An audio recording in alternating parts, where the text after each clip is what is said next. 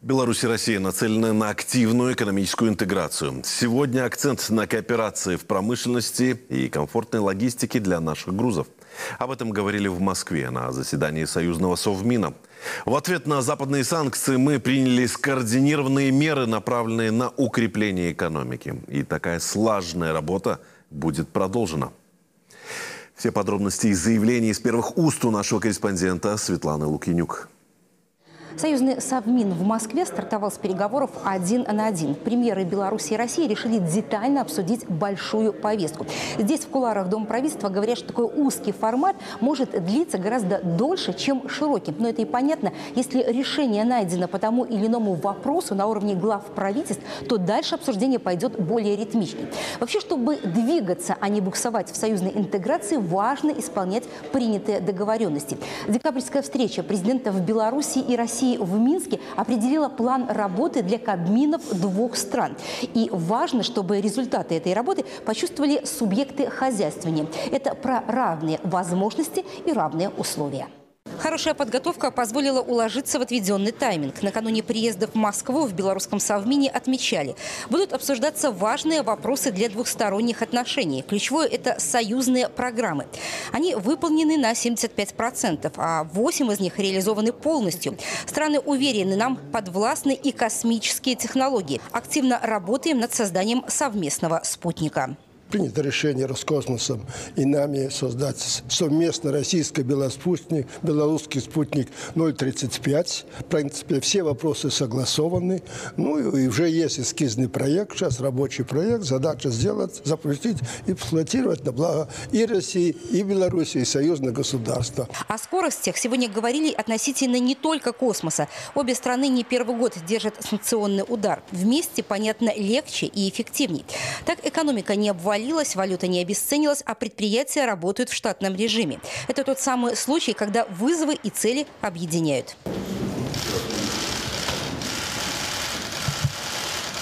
Постоянно корректируется правовая база. Да, остаются и спорные пока моменты, но сделано уж точно немало. Товарооборот в прошлом году рекордный – 50 миллиардов долларов. Поставки из Беларуси выросли на 40%. В январе-феврале эти тенденции сохраняются. Расчеты за энергоносители идут в российских рублях. Утверждена и формула ценообразования на нефть и газ. Мы уверенно идем по пути союзного строительства, отметит Роман Головченко. Получилось сделать, кстати, и экономически выгодной логистикой логистику. Много соглашений подписано, есть и новые. Мы э, достигли э, договоренности с нашими коллегами о том, что э, будут еще подвижки определенные в, в стоимости перевозок железнодорожных, в первую очередь железнодорожных. Мы работаем более чем с 20 портами Российской Федерации, тоже имеем достаточно привилегированные тарифы, поэтому здесь в этом плане все в порядке. Сейчас можно сказать, наверное, о том, что основные системные вопросы, они решены. То, в чем мы сильны и преуспеваем, так это промышленность. Есть знания, опыт и производственная база.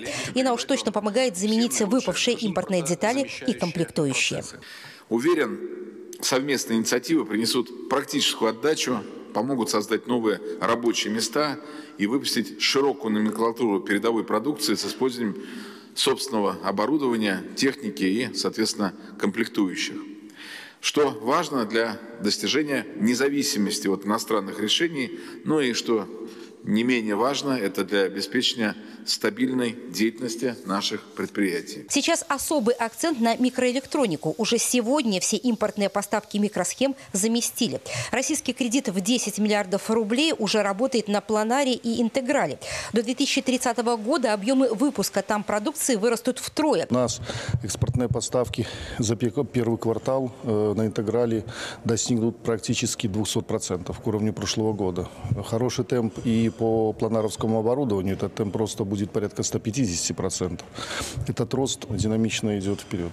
Вся продукция и планара, и интеграла расписана уже как минимум на год вперед. Эти предприятия работают с полной абсолютной загрузкой.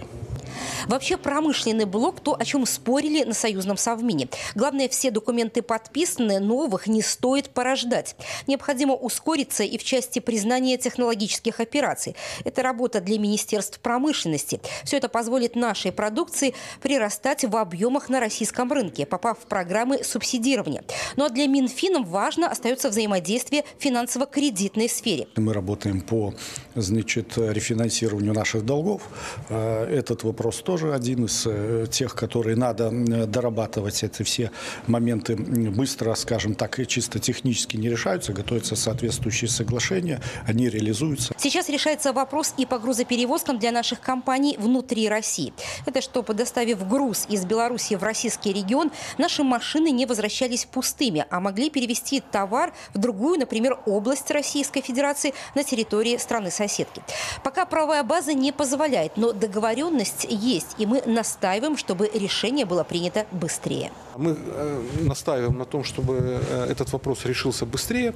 Э, Российские коллеги пока предлагают значит, чуть более поздний срок вступления в силу. Вот, но, по крайней мере, если на конец еще прошлого года у нас не было понимания, как это будет работать, то сейчас оно есть. Мы продолжаем дискуссию относительно сроков вступления этого решения в силу. То же самое касается и тарифов на аэронавигационное обслуживание. Мы э, должны будем свести к единому тарифу и для российских авиаперевозчиков, и для белорусской национальной авиакомпании «Белави».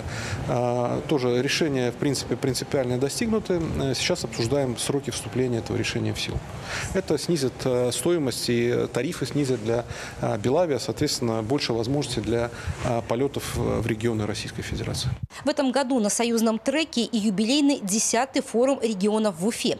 Вообще сотрудничество с российскими областями набирает обороты. Как раз после завершения переговоров в Москве делегация белорусского правительства отправилась в Волгоград. Светлана Лукинюк, Алексей Юнош и Сергей Волынец. Агентство теленовостей «Москва. Волгоград».